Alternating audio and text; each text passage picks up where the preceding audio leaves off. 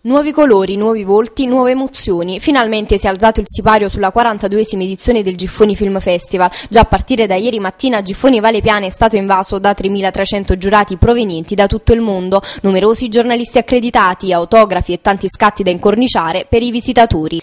A rubare subito la scena l'attrice hollywoodiana Jessica Alba che sorridente ed emozionata ha incontrato i giurati nella sala Truffaut della cittadella del cinema. La sua vita, la sua carriera, le sue passioni e le sue paure. L'attrice senza timore ha risposto alle curiose domande dei giurati e a chi le ha chiesto la sua visione della felicità ha risposto credo di non pensare al futuro, di essere felice nel quotidiano, mi godo la felicità quando mi si presenta. Ma a dare il via alla 42esima edizione del Giffoni Experience è stata la madrina storica del Festival Giffonese, ovvero Mara Venier, per molti anni presentatrice ufficiale della Kermesse. Mara Venier torna al Giffoni Film Festival, possiamo definirla una veterana o è sempre un'emozione nuova?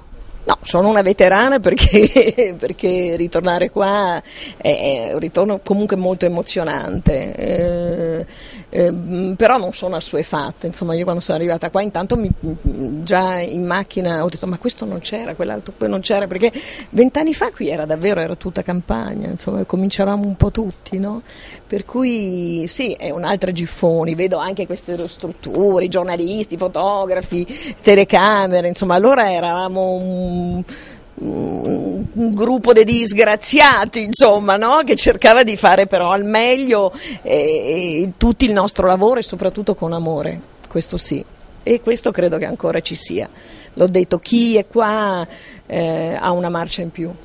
Quindi Giffoni può essere una speranza per i giovani di oggi? Assolutamente sì, questo è un festival importantissimo, è un festival conosciuto in tutto il mondo, cioè a New York parlano di questo festival, a Los Angeles parlano di questo festival. Vitosi è riuscito a fare un'impresa, non ci avrebbe creduto e sperato nessuno, un festival importantissimo, nel mondo del cinema è, molto apprezzato, stimato, cioè, questa è, vero, è, una cosa, è una cosa molto importante per il nostro paese, per, il, per l'Italia.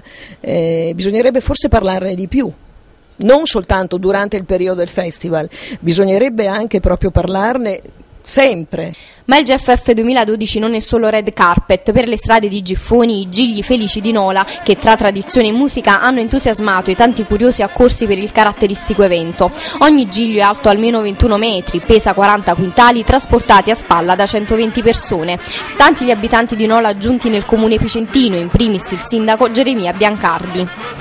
Anche oggi sono tanti gli appuntamenti in programma, l'arrivo a Giffoni del duo comico Ale Franz che incontreranno sia i piccoli giurati che i ragazzi della sezione Masterclass ed ancora l'anteprima in 3D di Madagascar 3 ricercati in Europa. Intanto è partito il conto alla rovescia per la sedicesima edizione del Neapolis Festival. Ad inaugurare la manifestazione questa sera sarà Pino Daniele, già da settimane si registra il tutto esaurito.